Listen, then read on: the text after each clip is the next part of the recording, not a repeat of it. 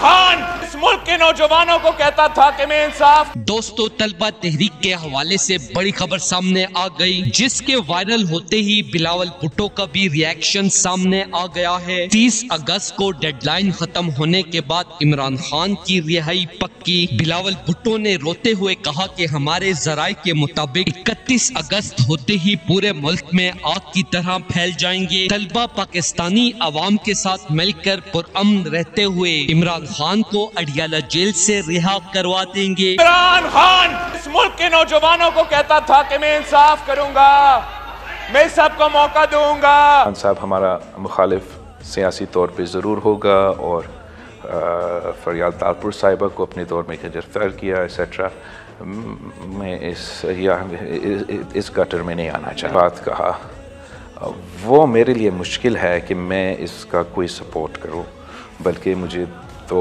अ, मैं तो वाज तौर पे इसका मज़ामत करता हूँ।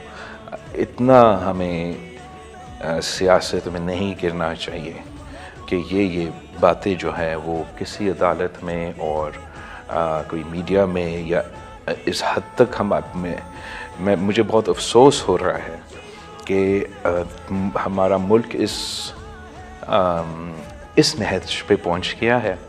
ज़रूर खान साहब का अपना किरदार रहा होगा हमें यहाँ पहुँचाने में। मगर मुझे बस अफसोस हो रहा है कि हम कहाँ पहुँचे हैं और मैं चाहूँगा कि इन आगे जाके ख़ास तौर पे इसलिए कि मैं नहीं चाहता हूँ कि इस मुल्क के अवाम मायूस हो हमारे निज़ाम से।